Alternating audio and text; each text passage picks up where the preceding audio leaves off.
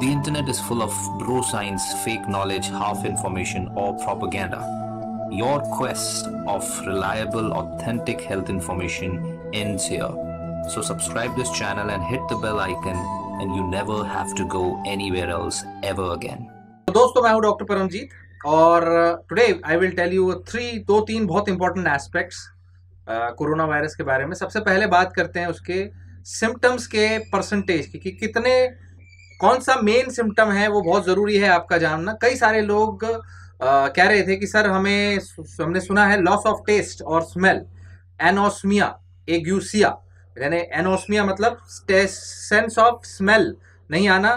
Smell को anosmia बोलते हैं और टेस्ट को बोलते हैं एग्यूसिया एग्यूसिया तो ये एक स्टडीज़ में कई स्टडीज़ में पाया गया कि हो सकता है इसका एक लिंक अच्छा खासा हो। अभी 100 परसेंट श्योर नहीं है, लेकिन कई साइंटिस्ट मान रहे हैं कि अगर ऐसा कुछ हो रहा है तो हो सकता है वो अर्ली सिम्टम है। अर्ली मतलब कोई भी और बुखार, सर्दी खांसी, गला खराब, सांस फूलना, ऐसे सिम्टम्स आने से कुछ दिन पहले से ये चीज़ें शुरू हो सकती हैं anosmia it could be a tracker so अगर आपको ऐसा कुछ हो रहा है तो आपको अपने आप को वार्निंग साइन लेके थोड़ा सा प्रिकॉशन रखनी ज़रूरी है। प्रिकॉशंस कायम है कि आप ना फैला दें। वेरी इंपॉर्टेंट क्योंकि हो सकता है उस पहले चौदह पंद्रह दिन में जितना आपका, दो से चौदह दिन में जो इसका, अब इसका जो इंक्यूबेशन पीरियड इंक्यूबेशन पीरियड है, वो भी चेंज हो गया है। इनक्यूबेशन पीरियड में हमारा, पहले तो ऐसा था कि सात से चौदह दिन, लेकिन अब कुछ लोगों में, कई लोगों में दो तीन दिनों में ही पेशेंट बहुत सीरियस हो जा रहे हैं और दो तीन दिनों में ही एकदम जाके निमोनिया जैसा अटैक आ जाता है दिक्कत हो जाती है। इसका मतलब ये नहीं है कि वो दो तीन दिन ही वायरस दो तीन दिन पहले ही आया था। हो सकता है वो अपना इंक्यूबेशन पीरियड के बाद जब हावी हो रहा है तो दो दिन में ही ऐसी तैसी कर दे रहा है और पेशेंट की जान ले जा रहा है। ऐसा हो रहा है कई जगह हो रहा है यहाँ भी हो रहा है लंडन में हो रहा है। Right we know my sister is in London she is also working there as a doctor so हमें पता चलता है क्या हो रहा है दुनिया भर में। सो so, यहाँ पे क्या करना है? यहाँ पर सिम्टम्स की बात करें अगर कि भाई अगर आपको कई लोगों को कह रहे हैं कि सर हमें सर्दी है हमारी नाक बह रही है छींक आ रही है नाक बंद हो रही है तो क्या हमें कोरोना हो गया? बिल्कुल भी नहीं राइट right? सो so, ये जो सिम्टम है ये बहुत ही ना के बराबर कोरोना के साथ एसोसिएटेड है। ये ऐसा नहीं है कि कोई भी पेशेंट में ऐसा हो ही नहीं सकता नहीं ऐसा नहीं आपको दो फ्लू एक साथ हो सकते हैं सर नॉर्मल फ्लू भी हो सकता है कोरोना भी हो सकता है दैट्स पॉसिबल लेकिन कोरोना के अंदर जो मेन सिम्टम है जो मेजोरिटी सिम्टम है 88 टू 90 परसेंट केसेस में बुखार आता ही आता है। सो so, 90 परसेंट में फीवर आएगा 67 यानी अराउंड 70 परसेंट में ड्राई कफ आएगा। सो ड्राई कफ मतलब बलगम नहीं आना या फिर कुछ केसेस में 30 टू 40 35 परसेंट केसेस में बहुत ही गाढ़ा बलगम आ सकता है गाढ़ा बलगम।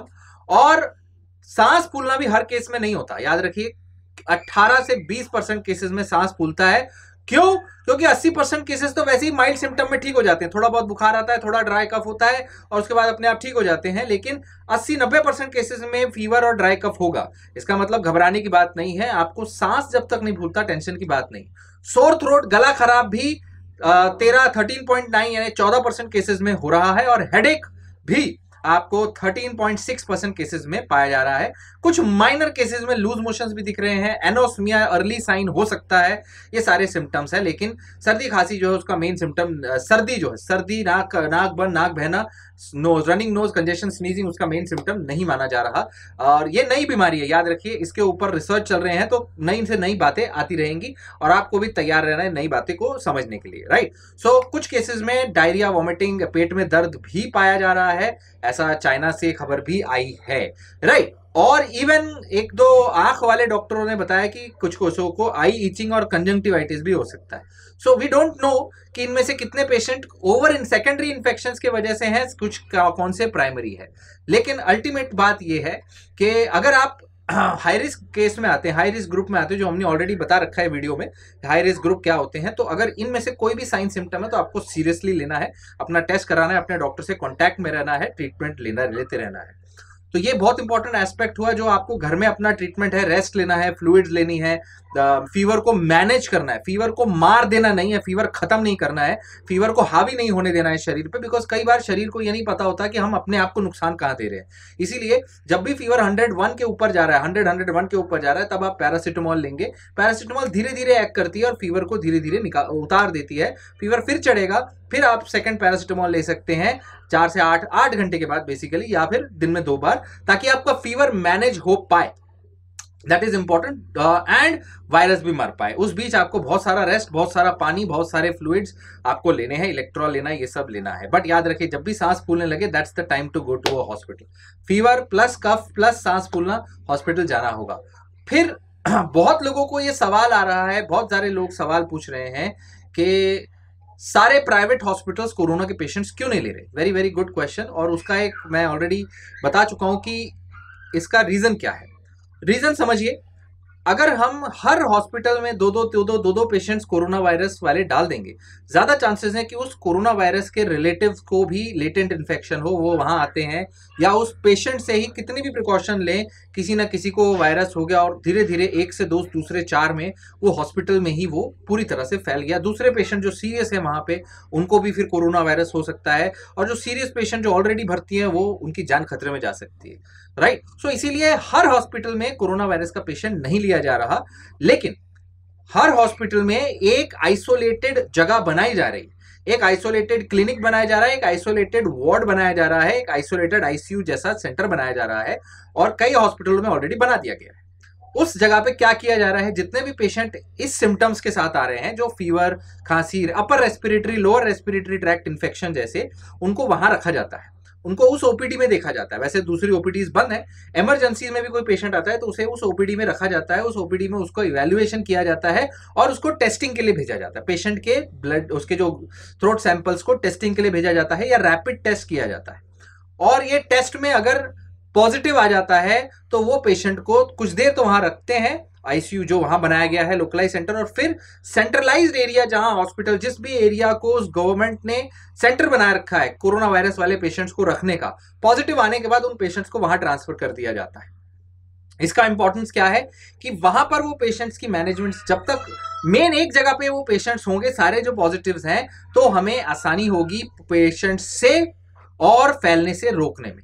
और साथ ही जब वहाँ पे होंगे तो पीपी पे डॉक्टरों के पास जो मास्क और जो प्रोटेक्टिव इक्विपमेंट्स हैं वो भी वहाँ पे ही लगेंगे ना कि हर हॉस्पिटल में हर डॉक्टर अपना पीपी पहन के घूम रहा आप लोगों ने मेरे वीडियो देखे होंगे मैं अपने कमरे में पीपी नहीं पहनता क्योंकि मैं कार्डियोलॉजी में काम करता हूँ। तो कार्डियोलॉजी डिपार्टमेंट में हम कोरोना वायरस के पेशेंट नहीं लेते हैं तो हमारे पेशेंट्स के पास जाते हुए मास्क अकेला काफ़ी होता है लेकिन बाहर से जब हम इमरजेंसी पेशेंट देखते हैं तो फिर हम पूरे पीपी को देखते हैं। Right right. सो so, एक ये इंपॉर्टेंस हुआ कि why patients are kept in single hospital अगर कभी वो हॉस्पिटल भर गया इतने सारे पेशेंट्स हो गए कि एक हॉस्पिटल जैसे कि गाजियाबाद में संतोष हॉस्पिटल को पकड़ा हुआ है आ, तो अगर वो भर गया मान लीजिए संतोष हॉस्पिटल तब उसके बाद में हर हॉस्पिटल जो आ, उसके लिए अप्रूव्ड है उस हॉस्पिटल के एक विंग को एक एरिया को आइसोलेट किया जाएगा उस एरिया में ही पेशेंट्स को रखा जाएगा। अगर फिर वो भी भर गए तो फिर और सोचा जाएगा फिर और सोचा फिर और भरा जाएगा।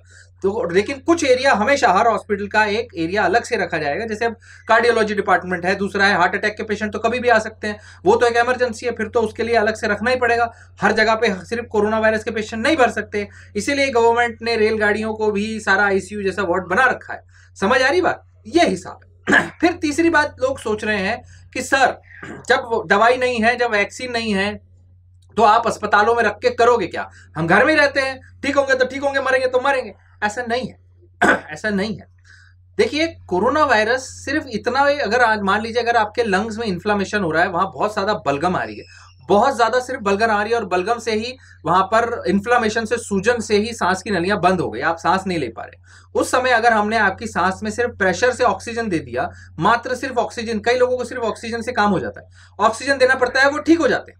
जी हाँ वो ठीक हो रहे होते हैं ऑक्सीजन दिया जाता है फ्लूइड्स दिए जाते हैं, खाना सही से किया जाता है प्रोटेक्शन दिया जाता है कि वैसे कोई दूसरा बैक्टीरियल इन्फेक्शन ना हो जाए, वो ठीक हो जाते हैं। सेकेंड कैटेगरी पेशेंट है, कईयों को प्रेशर से ऑक्सीजन देना पड़ता है।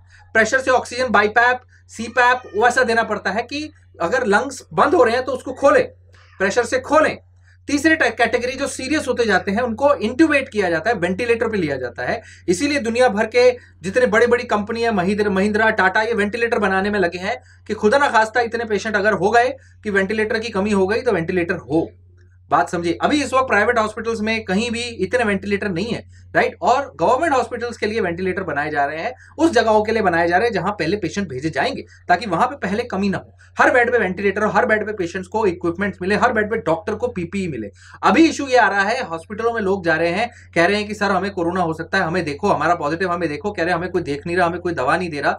जब तक अगर कोई डॉक्टर बिना किसी प्रॉपर प्रोटेक्शन के आपके पास जाएगा, कुछ ही देर में वो डॉक्टर भी इन्फेक्ट हो जाएगा। तो आप बताइए, ये किस एंगल की समझदारी है कि बिना इक्विपमेंट के, बिना प्रोटेक्शन के वो डॉक्टर जाके इलाज करें और खुद इन्फेक्शन लेके फिर दसों पेशेंट्स में फैला दें? इसीलिए, अगर आप ऐसे किसी अस्पताल जाते हैं जहाँ आपको कोरोना वायरस जैसा इंफेक्शन है तो बहुत ज़रूरी है उस अस्पताल में वो वो पीपीई पर्सनल प्रोटेक्टिव इक्विपमेंट होना। इसकी ज़िम्मेदारी वहाँ के हॉस्पिटल वाले, वहाँ के गवर्नमेंट की है। अगर वो नहीं प्रोवाइड करते हैं तो डॉक्टर की गलती नहीं है, वो आपको तभी बचा सकता है जब पीपीई हो। जब तक पीपीई नहीं है, तब तक पेशेंट को इंट्यूबेट भी करेंगे, उसकी जबान भी देखेंगे। आ भी करेगा तो भी फवारा निकलता है। जी हाँ माइक्रोस्कोपिक बर्ड्स निकलते हैं न्यूक्लियाई निकलते हैं रेस्पिरेटरी न्यूक्लियाई सिर्फ़ मुँह खोलते हुए भी, बात करते हुए भी। तो इसीलिए पेशेंट को देख के टंग डिप्रेसर से भी टंग गला नहीं देख सकते, जब तक पीपी नहीं हो। इसीलिए दुनिया भर में ओपीडी बंद है। क्यों ओपीडी बंद है? क्यों डॉक्टर्स पेशेंट नहीं देख रहे? क्यों ऑनलाइन कंसल्टेशन के लिए अब अलाउ कर दिया है गवर्नमेंट ने? जी हाँ Indian government online consultation allow कर चुकी है ऑनलाइन कंसल्टेशन आप कर सकते हैं। किसी भी जो भी आपके डॉक्टर उनसे ऑनलाइन बात करें ऑनलाइन जैसे वो चाहे कर सकते हैं। सो so, ये बेसिक है इसका। सो so, आपको समझना है कि डॉक्टर भी इंसान है वो आपकी मदद करेगा। अगर उसको हथियार बिना हथियार के लड़ने तो किसी को भेजोगी ना? ये तो गलत हो जाएगा तो पागलपन हो जाएगा। राइट और ट्रीटमेंट क्या है? ट्रीटमेंट है जब आपकी सांस रुकने लगे, आपको ऑक्सीजन मिले, आपको वेंटिलेटर मिले। अगर आपको वेंटिलेटर मिलेगा, सही मात्रा में फ्लूइड मिलेगा, क्योंकि शरीर इतना गर्म हो जाता है, बुखार से डिहाइड्रेशन हो जाता है। सही मात्रा में फ्लूइड मिलेगा फ्लूइड वेंटिलेटर आप हो सकता है ठीक हो जाओ, हो सकता है ना हो। अगर नहीं होते दिख रहा, तब फिर एक्सपेरिमेंटल दवाएँ दी जाती है। हर पेशेंट में नहीं दी जाती कि मैं नॉर्मल हूँ, मेरे को कोरोना वायरस इंफेक्शन हो गया, मेरे को एचआईवी की दवा, मेरे को फलाना ढमकाना दवा नहीं दी जाएगी। सिर्फ़ और सिर्फ़ उन पेशेंट्स को जिनको वेंटिलेटर की ज़रूरत पड़ रही है, उनको एंटीबायोटिक दी जाती है क्योंकि हम आपके गले में ट्यूब डाल रहे हैं। हम आपके गले में ट्यूब डाल रहे हैं, अब वो ट्यूब के थ्रू भी इन्फेक्शन जा सकता है। ट्यूब की केयर करते हुए पाइप लगाए, उसमें इन्फेक्शन जा सकता है। हॉस्पिटल के अंदर से इन्फेक्शन जा सकता है। इसलिए एंटीबायोटिक दिया जाता है प्रिवेंशन के लिए। इसलिए वहाँ पर आपको दिए जाते हैं दूसरी एक्सपेरिमेंटल दवाएँ जो अप्रूव या अनअप्रूव्ड जो गवर्नमेंट से आईसीएमआर से डब्ल्यूएचओ से सीडीसी से रिकमेंडेशन आई है कि इनमें से कोई यूज़ कर सकते हो। वहाँ पर प्रेजेंट डॉक्टर आपकी कंडीशन आपका लिवर आपकी किडनी फिर उस दवा के साइड इफेक्ट्स असेस करते हैं कि अगर ये दवा दूँगा तो यार इसकी किडनी बैठ जाएगी। अगर ये दवा दूँगा तो किडनी सेफ़ है, ये दवा दो राइट इस पेशेंट में ये दो, उस पेशेंट में वो दो। ये डॉक्टर का काम है, आपका इलाज टेस्ट नहीं कर रहा डॉक्टर कर रहा है। आपका इलाज टेस्ट नहीं, कोई टेस्ट में गए पॉजिटिव आ गया नेगेटिव आ गया, उससे नहीं फ़र्क पड़ता। अगर आप इसी कोरोना वायरस के नॉन पेशेंट के साथ रहते हो, और आपको सिम्टम है, चाहे टेस्ट नेगेटिव है, आपको कोरोना वायरस है। टेस्ट हंड्रेड पॉजिटिव नहीं दिखाता। लेने वाले में भी गड़बड़ है मैंने ऑलरेडी वीडियो में बताया यहाँ की जगह यहाँ से ले लिया कोरोना वायरस ज़्यादा कॉन्सेंट्रेटेड नहीं है तो भी दिक्कत हो जाती है। कई पेशेंट एजिथ्रोमाइसिन खा के आ जाते हैं कुछ दवा खा के आ जाते हैं दवाई से हो सकता है मुँह के अंदर से कोरोना वायरस कुछ देर के लिए मर जाए लेकिन लंग के अंदर तो है। सो so, इसका मतलब ये नहीं है कि एजिथ्रोमाइसिन काम करती है बिल्कुल भी नहीं। जो रिसर्च चल रहा है रिसर्च में पता चलेगा कौन सी सी दवा से आप ठीक होगे। अगर आप ठीक हो सकते हैं तो डॉक्टरों को कोई शौक नहीं है छोटी सी दवा बचाने का।